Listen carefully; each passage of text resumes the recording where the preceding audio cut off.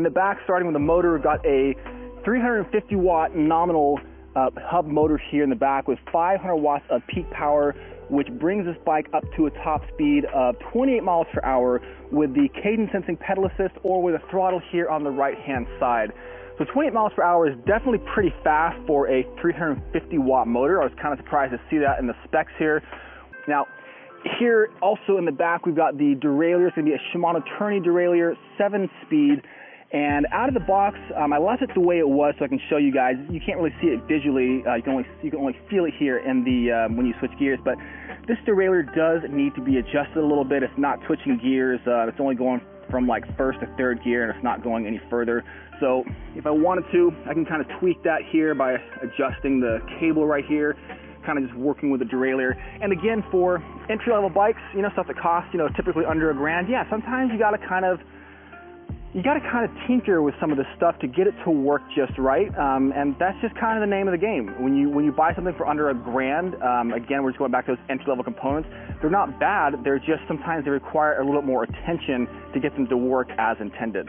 So something else that's kind of cool though, back here you will see that this does have a steel derailleur cage over the derailleur, which is very nice. It's this piece right here. Just kind of helps protect the derailleur if this bike does fall over on the right hand side. It helps this thing from getting crushed, so very cool stuff here.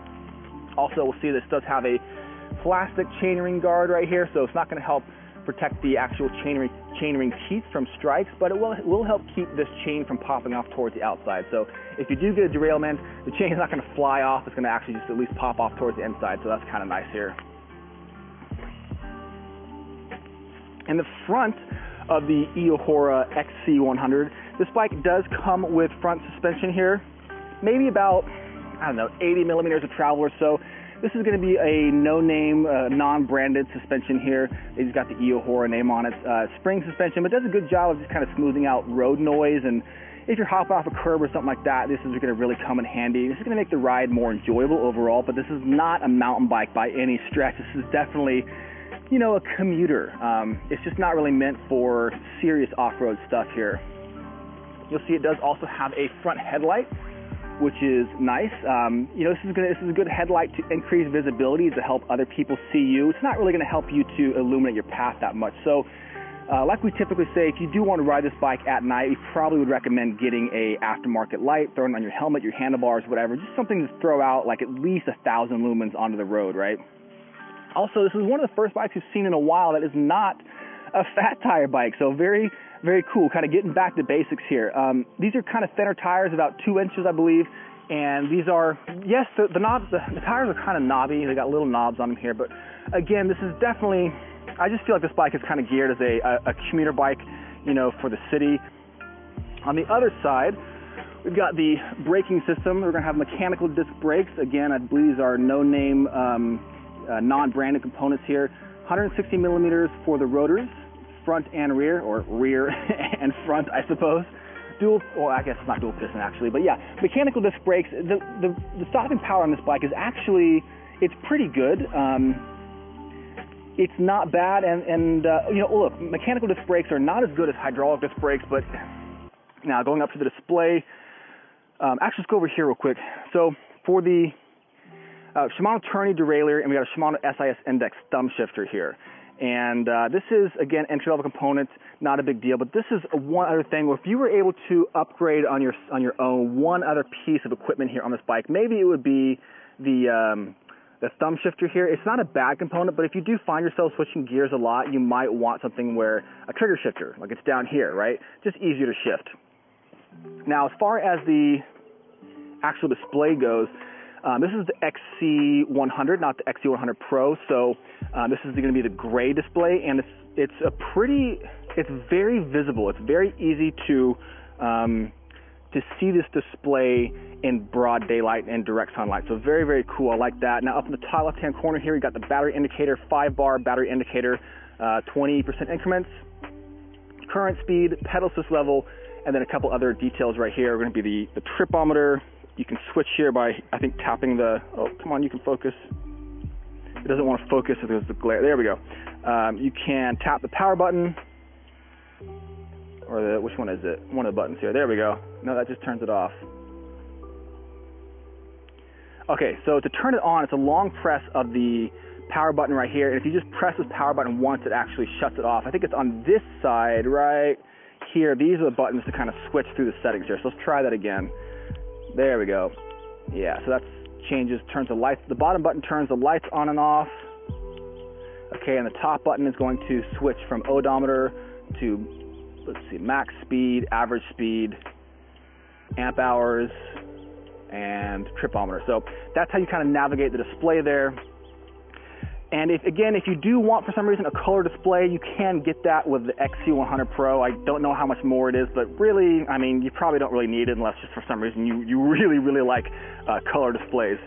Uh, something else I do want to mention is that the wire management here is they, have done a, a, a, fair job here of trying to get all these wires to behave. they've got them pretty nicely wrapped. Definitely props for that.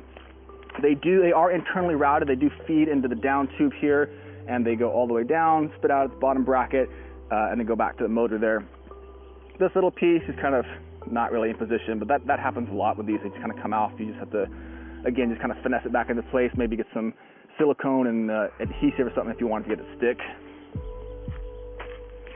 But, yeah, awesome piece. That's pretty much it here for the Eahora XC100. Pretty sweet little ride.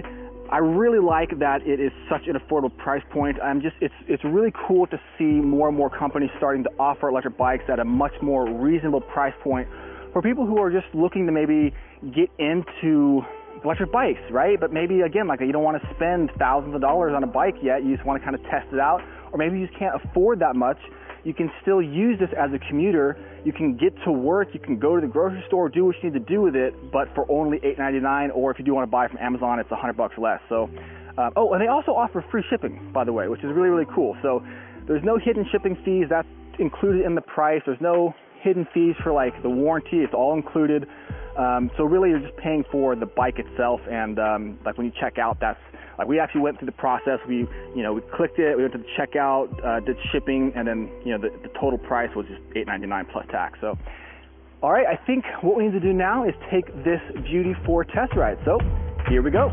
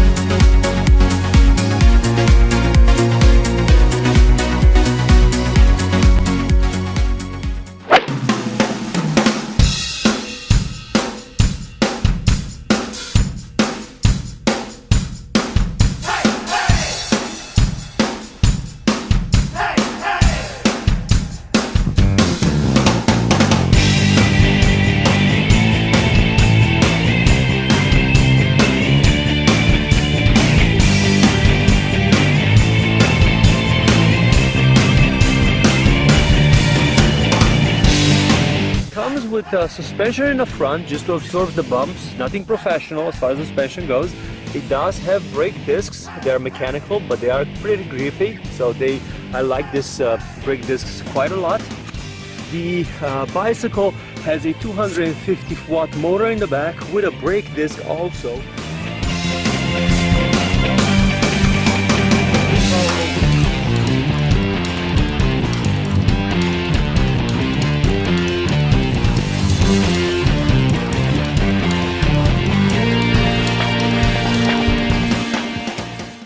For watching our video. Don't forget to subscribe our channel and press the bell icon to get more videos like this.